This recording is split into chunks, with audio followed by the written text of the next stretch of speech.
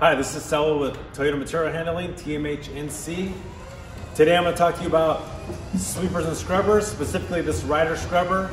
And the two most common wearables are squeegees and the brushes. This is the squeegee, rear squeegee behind me. We're going to remove it. Take it over here to the table.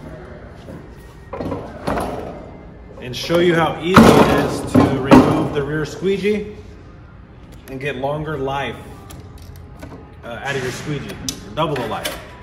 Remove the metal band, pull off the Linatex squeegee, line it back up here with the tabs.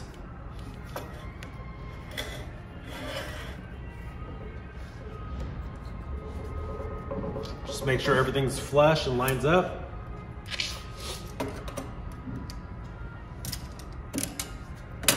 Got to play with the band here a little bit. It'll line up.